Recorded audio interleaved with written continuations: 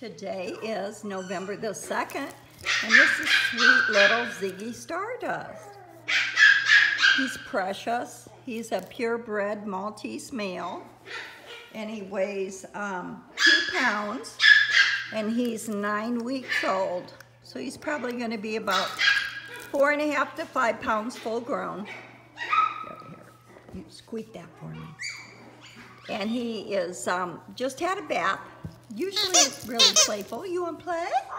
What is that? Pull that little tab and it will wiggle.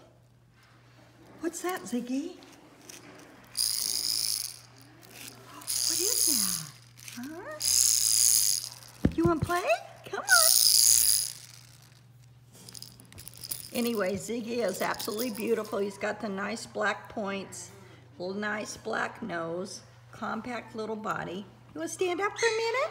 We see how pretty you are. Yeah, you're so pretty. Yes, you are, little sweetheart. Yeah, so pretty.